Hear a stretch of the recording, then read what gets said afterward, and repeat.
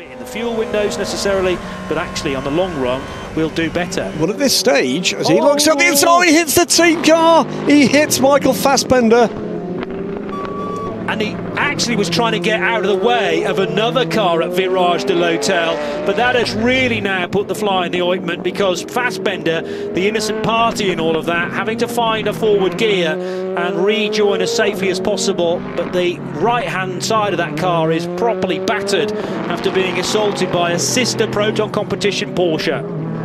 So I can see what damage there was. It was up the inside. It was too. It was too late. He did leave the door open, but it was too late to make that move. Well, if Ryan hadn't locked up, I think he would have been okay and he would have made the corner, but he was just asking a little bit too much. No ABS on these cars, so if you do lock no. up.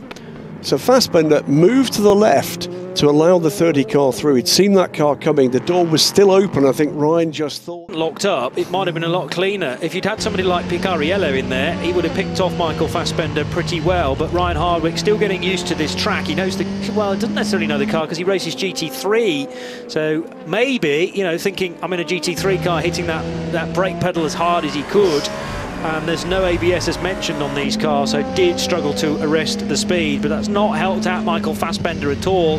And now Fassbender uh, really in a battle with Johnny Laursen in the Formula Racing number 50. They're also both being shrouded by the Proton oh, he's hit him! It's a hit again!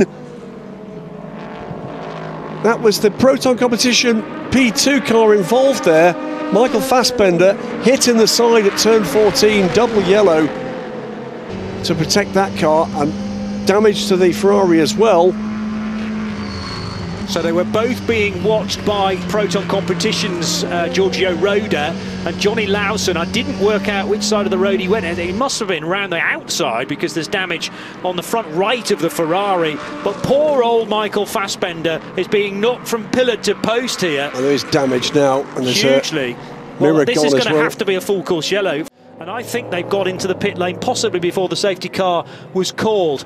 Johnny Laursen to the inside line and just having a constant nibble there on Michael Fassbender's car. And the problem was the secondary bit of contact as the Porsche flicked around. It took the rear uh, wheel cover. It was the second contact after he'd gone around, which did the damage.